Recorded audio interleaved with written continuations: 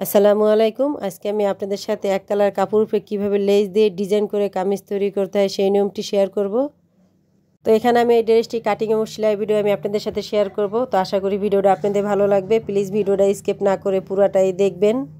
তো এখানে আমি এই ড্রেসটি তৈরি করার জন্য এখানে আমি লেস নিয়েছি পাঁচ গজ আর এখানে আমি কাপড় নিয়েছি সুতি বয়েল কাপড় তিন গজ।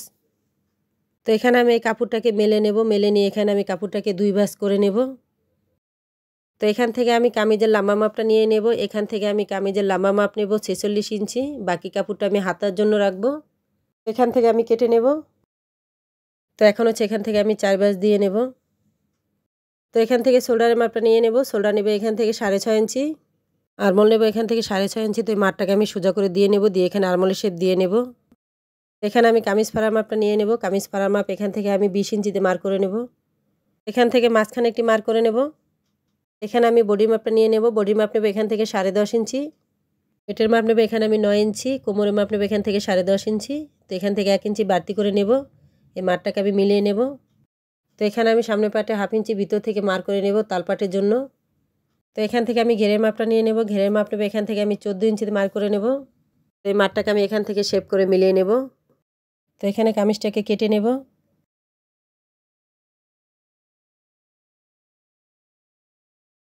তো এখানে আমি পিছনে পাটটা সরিয়ে নেব, সরিয়ে এখানে আমি সামনে পাটের তালপাটটা কেটে নেব। তো সামনে পাটে গলার জন্য এখানে আমি সাড়ে চার ইঞ্চিতে মার করে নেব। তো এখানে আমি ইঞ্চি টেপটাকে এভাবে ধরবো উপর থেকে, ধরে এখানে আমি বারো ইঞ্চিতে মার করে নেব। তো এখানে আমি সামনে পাটে ডিজাইন দেবো গলার এখানে, এই জন্য এখানে আমি বারো ইঞ্চিতে মার করে নেব। এখান থেকে সাড়ে চার ইঞ্চিতে মার করে নেব। তো এই মারটাকে আমি এভাবে সোজা করে মিলিয়ে নেব। তো এখান থেকে একটু কোনা করে মার করে নেব। এখান থেকে হচ্ছে এটাকে আমি কেটে নেব। তো এখানে আমি এভাবে সাড়ে চার ইঞ্চিতে ধরে এখানে আমি সোজা করে একটি মার করে নেব। মারটাকে সোজা করে মিলিয়ে নেব। তো এটাকে হচ্ছে আমি এভাবে করে ভাজ দিয়ে নেব। ভাজ দিয়ে এখানে সোজা করে একটি মার বসিয়ে নেব। এই যে এই সাইডে এভাবে করে। তো এখানে আমি হাতাটাকে মেলে নেব। হাতাটাকে এভাবে করে মেলে নেব। নিয়ে এখানে আমি দুই ব্যাস দিয়ে নেব। এরপরে এখানে আমি চার ব্যাস করে নেব।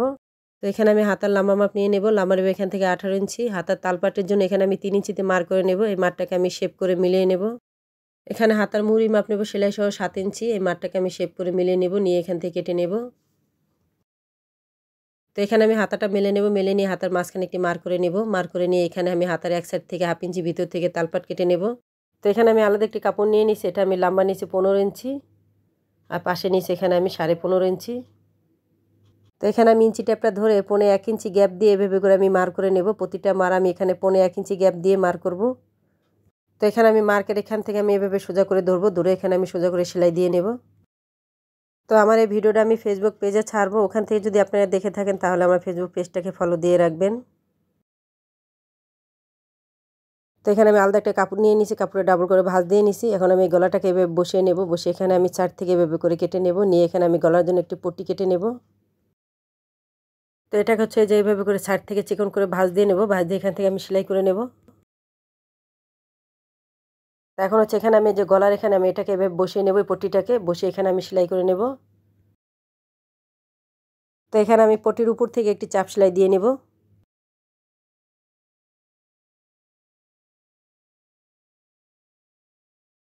তো এখানে যে কাপড় দিয়ে আমি ডিজাইন করেছি, এখন আমি এই যে গলাটাকে আমি এর উপরে এভাবে করে বসিয়ে নেব। বসে এখানে আমি গলাটা সেলাই করে নেব।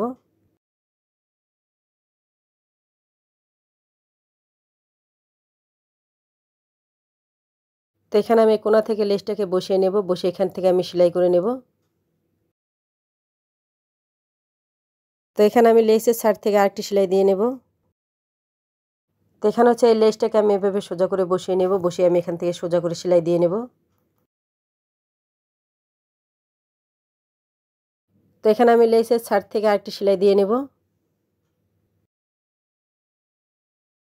তো একইভাবে আমি অন্য সাইডে এইভাবে করে লেসটা লাগিয়ে নেব। তো আমার ভিডিওটা যদি আপনাদের ভালো লেগে থাকে প্লিজ আমার চ্যানেলটা সাবস্ক্রাইব করে রাখবেন আর পাশে থাকা বেল বাটনটি অন করে দিবেন আর ছোট্ট একটি লাইক দিয়ে দিবেন। আর যারা যারা সাবস্ক্রাইব করেছেন, তাদেরকে অসংখ্য ধন্যবাদ। আর যারা এখনও করেন নাই প্লিজ আমার চ্যানেলটা সাবস্ক্রাইব করে রাখবেন। তো এখানে আমি গলাটা কেটে নেব। এখান থেকে আমি তিন ইঞ্চিতে মার করে নেব। আর এখান থেকে আমি সাড়ে পাঁচ ইঞ্চিতে মার করে নেব। তো এখানে আমি গলার মাপটা পাঁচ ইঞ্চিতে রাখব। পাঁচ ইঞ্চিতে রেখে এখানে আমি গোল গলা শেপ দিয়ে নেব। দিয়ে এখান থেকে আমি গলাটা কেটে নেব। তো গলাটাকে আমি কাপড় উপরে বসিয়ে নিছি। বসে এখানে আমি গলাটাকে সাইড থেকে কেটে নেব। নিয়ে এখানে আমি একটা আলাদা পট্টি কেটে নেব। তো এখানে আমি পিছনে গলাটা ওইভাবে তিন ইঞ্চিতে মার করে নেব। এখান থেকে আমি সাড়ে তিন ইঞ্চিতে মার করে নেব। নিয়ে এখানে আমি গোল গলা শেপ দিয়ে নেব। দিয়ে এখানে আমি গলাটা কেটে নেব। তো এখানে পিছনে গলার কাপড়টাকে আমি এভাবে করে রাখব। রেখে এখান থেকে আমি একটি পট্টি বের করে নেব কেটে। তো এখানে আমি পট্টিটাকে এই যে থেকে ভাঁজ করে সেলাই করে নেব।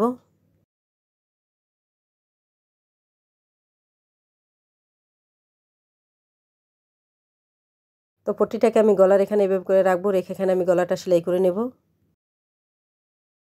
তো এটাকে হচ্ছে আমি এভাবে একটু কেটে নেব। তো এখানে হচ্ছে এই পটির উপর থেকে আমি সেলাই দিয়ে নেব। এটাকে আমি এভাবে কেটে নেব, নিয়ে এখানে আমি পটির উপর দিয়ে সেলাই করে নেব।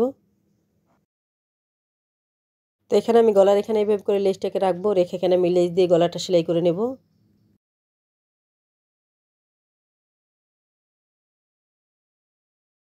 তো এখানে আমি এই যে শোল্ডারটাকে এভাবে করে মিলিয়ে নেব পিছনে পাটের সাথে, এভাবে করে নিয়ে এখানে আমি শোল্ডারটা জয়েন করে নেব। তো এখানে আমি কামিজের সাইডটা সেলাই করে নেব যে ফাড়া পর্যন্ত। একইভাবে অন্য সাইডটাও সেলাই করে নেব। তো এখানে আমি কামিজের সাইড সেলাই করে নেব এভাবে ভাঁজ দিয়ে।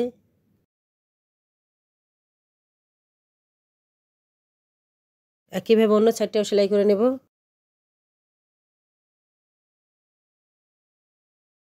এখানে আমি কামিজের নিচে ঘেরে অংশটা সেলাই করে নেব, এভাবে ভাঁজ দিয়ে।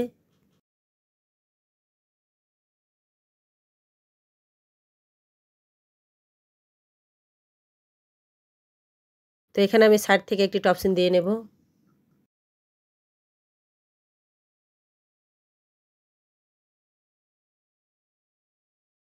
তো এখানে আমি নিচে গ্যারে